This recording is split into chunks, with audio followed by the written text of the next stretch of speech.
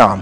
الخبر التالي مشاهدينا معنا عبر شروق نت قيادات إسلامية بارزة تشارك في مسيرة الزحف الأخضر وغندور يعلق. شاركت قيادات إسلامية بارزة في مسيرة الزحف الأخضر آه التي انطلقت في شوارع الخرطوم السبت أمس ورصدت عدسات الكاميرات النائب السابق للرئيس المعزول دكتور الحاج آدم يوسف في مقدمة الحشود.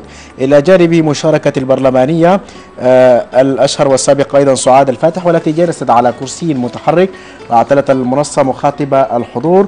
ورصد شهود عيان أيضا مشاركة لكل من رئيس المؤتمر الوطني ولاية الخرطوم والوالي السابق أنس عمر والقيادي الإسلامي الناجي عبد الله والوالي السابق الهجة فضل المولى. كما ظهر الكاتب الإسلامي المعروف الأستاذ إسحاق أحمد فضل الله محمولا على الأعناق. آه هذه آه إذا آه مسيرة الزحف الأخضر التي انطلقت بالأمس.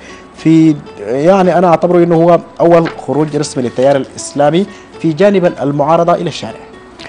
طيب دعني أبدأ بأنه يحمد للحكومة الانتقالية وبشقينا الجهاز التنفيذي والمجلس السيادي أنهم صدرهم بقى واسع جدا ووفروا المناخ المناسب لقوة عند رأي فيما يحدث الآن في السودان أن تطلع وتعبر عن رأيها. أنا أفتكر دي دي دي دي, دي لابد أن أن نشير لها في حق الحكومة بمجلسينا مسألة مهمة جدا.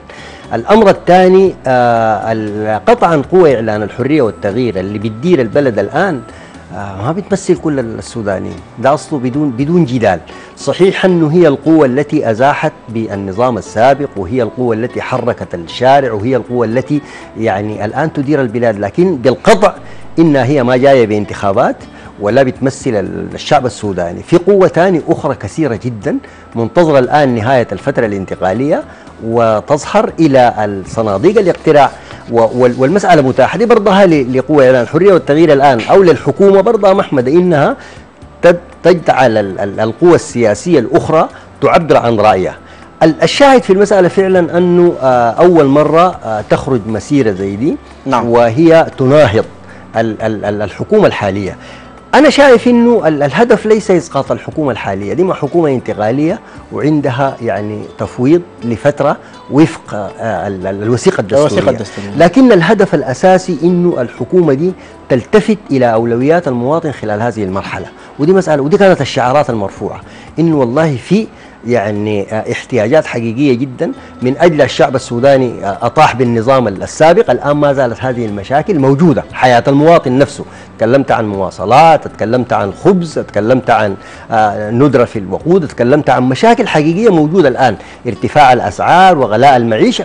دي المسيرة دي واحدة من, من, من الأشياء اللي بتشير لها إنه حق الحكومة تلتفت للأولويات بتاعتها. الثانية إنه لابد للحكومة أن تطبق الشعارات المطروحة اللي رفعها حرية سلام وعدالة. لابد أن تطبق على أرض الواقع. تطبق كيف؟ تطبق على كل السودانيين بدون أي انتقائية. يعني أي سوداني مفروض يحس بالحرية والسلام والعدالة في ظل هذا النظام. ده ما بيعني أنك أنت إذا كان عندك بلاغات مفتوحة ضد قيادات سابقة في النظام السابق داير تعمل محاكماتك كلها هي متاحة الآن. ومفروض الحكومة ذاتها تمشي فيها إلى الأمام.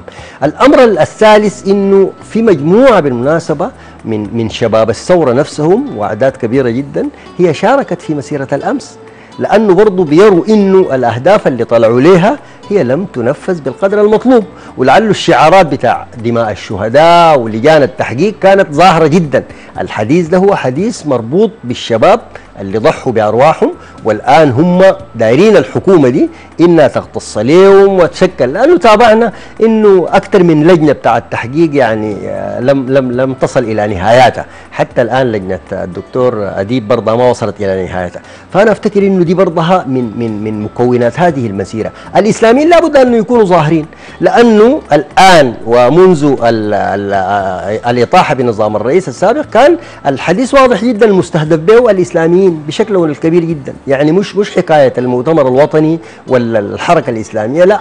كلهم نعم. كانوا مغصيين. فلا بد إنه إذا كان في مسيرة للتعبير عن الرأي وإذا كان في مسيرة آه تتحدث عن آه ثغرات في الحكومة الانتقالية لا بد للإسلاميين أنه يكونوا موجودين. نعم. أنا أفتكر ال ال ال ال ال ال المساحة الآن حقه تكون السودان وطن يسع الجميع. وأنه ال- الحكومة الانتقالية دي يعني يكون صدرها رحب أكثر مما هو عليه الآن. وانها تفتح الفرصة لكل من أراد أن يعبر عن رأيه أن يعبر بسلمية عالية جدا. وانه برضو آه تبتعد كثير جدا عن ال ال الإقصاء والانتقام والإبعاد. لأنه لو تابعنا الآن المسيرة بنلقى كل الكلام هو فيه تصفية وتفكيك وانتقام وثغرات المسألة ما بتمشي بكده يعني القانون ده قاعد ممكن ينظم لك كل الأعمال. نعم. وانت لو بتتكلم عن عن عن حزب كان حاكم الحزب ده بمجرد إنه قامت الثورة الشعبية دي خلاص طاحت به من الحكم. لكن الأفكار عمرها ما بتلغى. أنا داير أرجعك يا أخ حسام لأنه الحزب الشيوعي لما حلوة سنة 67 في الجمعية ال- التشريعية ال- هل هل الحزب الشيوعي اختفى من الساحة؟ الليلة آه، بيقود البلد ضمن منظومة أخرى. الجمهوريين لما جعفر نميري آه، حكم بالإعدام على قائد الليلة موجودين في المسيرة. يعني داير أقول إنه الأفكار دي أصلا ما بتلغى. ولا بتنتهي. معليش الاسم والتنظيمات دي كلها ممكن تمشي؟ وفي قانون بينظمك انت لو عندك القانون الجنائي ده بنظم لك كل المسائل الخاصة بالمخالفات وعندك قانون تنظيم شؤون الأحزاب بينظم لك وجود المؤتمر الوطني كحزب سابق من من عدمه. فأنا أفتكر إنه حق الحكومة ترتب أولوياتها بشكل أفضل وتحاول يعني تستفيد من القطاع الواسع جدا من المجتمع السوداني لإدارة فترة انتقالية سليمة ومعافاة تخرجنا من أي أزمة وتوصلنا لمرحلة الانتخابات بشكل أفضل. نعم.